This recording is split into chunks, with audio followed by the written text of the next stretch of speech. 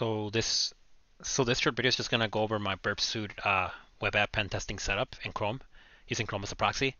So first let's cover the extensions. AdBlock Plus it doesn't really matter whatever ad blocker you use. Just some, it's nice to have. Edit this cookie, um, some sort of cookie editor just to mess with the cookies. Pretty easily. Wappalyzer to identify web technologies. Without further enumeration you might want to do later. And Foxy Proxy Standard, Switchy Omega. They they both pretty much do the same thing. I personally I use Foxy Proxy Standard. Um, so yeah, we'll, we'll go a little bit more into these later, but you also want to use extensions, and those are nice to have, um, and you'll see why later. So first, I have my proxy on here, and I could turn it on and off pretty easily just with this. And that's just Foxy Proxy, that's why it's really useful. Um, let's drop everything here. Okay, so intercept is on. We're gonna try loading a page. And now that our proxy's on, nothing's gonna happen because until we load forward the requests that are being intercepted by Burp Suite here. So once we forward that, eventually the web page in the back should load like so. But see, if I just go to any other website and if I don't forward the request, it's not gonna load. So what happens if I want to use Burp Suite and do research? Well, you could try another uh, browser, or you could make use of profiles like this.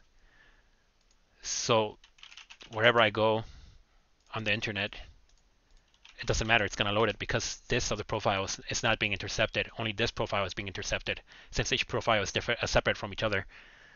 So that's why profiles are really useful. So just to go back and review, use this extension, use I use these extensions and different profiles so that I could do research on one side and intercept traffic and do whatever on the other side, uh, or on the other profile.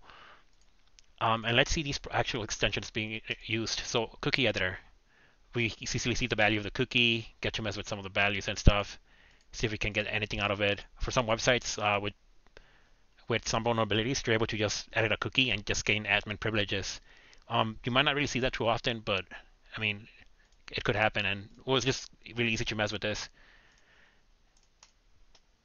And then Wappalyzer is used like this. It helps you identify uh, some of the technologies being used on the page to tailor your attacks or payloads to them. Um, beyond that, that should be it.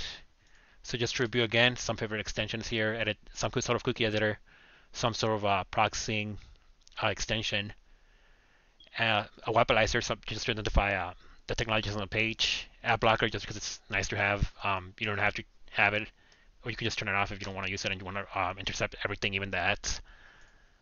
Um, and the use of profiles. Uh, and that's it.